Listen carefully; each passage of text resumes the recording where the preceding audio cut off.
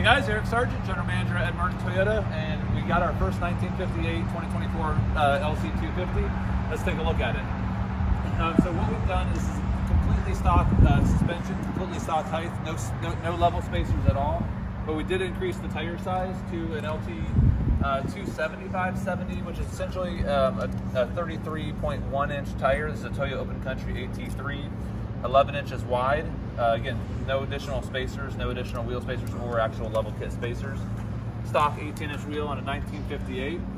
If you look underneath here, they have we have a couple added accessories that did not come on the car from the factory. We have the ZR Tactical uh, billet aluminum recovery hooks, uh, powder coated in gloss red.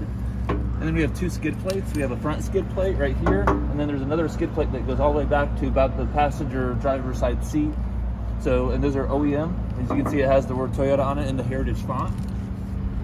And then on the side, we added the uh, Toyota OEM uh, rock rail sliders right here. Uh, they're they it's a bolt on. The frame has the um, the nut built into it, so they just basically bolt right on. Uh, these run uh, about 1500 uh, bucks for a set. And then this is the OEM roof rack. And this is like actually a really cool roof rack. It, uh, obviously 1958 doesn't have a moon roof, but if this was a Land Cruiser or a uh, first edition, it would have a roof, and this would not cover it.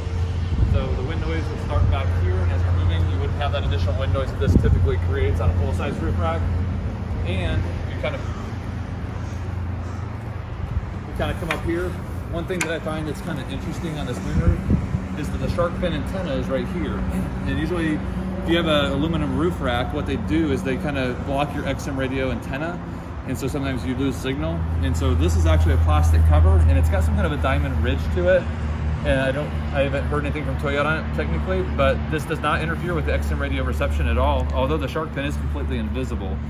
So I'm, I'm wondering if the diamond pattern has something to do with that. But on the cross members here, there are a total of four of them. These are aluminum, similar to an 8020 bar and they do have uh, these notches on both sides. So if you're adding an accessory on it, you can put your bolt in or your nut here, slide it in from either side real easily. This is an aluminum roof rack, and it's an OEM accessory, and we keep, and we keep these in stock. If you guys like the 1958 Land Cruiser, let us know what you think about it in the comments below. Thanks for watching.